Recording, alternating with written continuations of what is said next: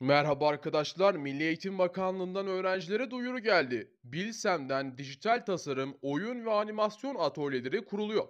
Ayrıntıları geçmeden önce kanalımıza abone olmayı ve videomuzu beğenmeyi unutmayınız. Hadi şimdi gelin videomuza geçelim.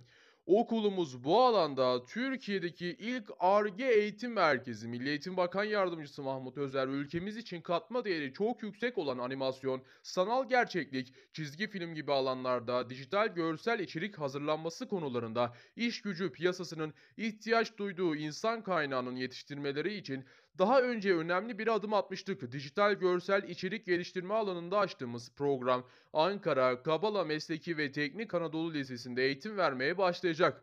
Programımız Müfredat, Kültür ve Turizm Bakanlığımız ve sektör temsilcileriyle birlikte hazırlandı. Bu okulumuz bu alanda Türkiye'de ilk ve tek Ar-Ge merkezi. Bu çalışmalar yayınla- e, yaygınlaştırmak için 185 bilisemin tamamında bu kapsamda atölyeler kurmaya ve öğretmenlerimize yönelik eğitimler düzenlemeye başladık. Aynı şekilde öğrencilere de bu aslında bir müjde diyebiliriz. Çünkü e, artık ülkemizde de bu tarz atölyelerin kurulacağı da aslında bu şekilde bildirilmiş oldu.